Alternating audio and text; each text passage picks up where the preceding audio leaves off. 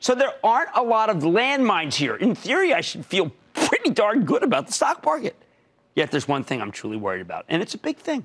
I'm talking about the Standard & Poor's proprietary short-range oscillator, the one I've subscribed to for 30 years, because it gives you the best reading on whether the market is getting overbought, meaning there's too much enthusiasm, or oversold, meaning there's too much pessimism.